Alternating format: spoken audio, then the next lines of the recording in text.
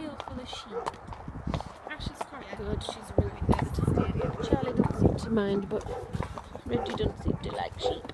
And there's dog barking as well.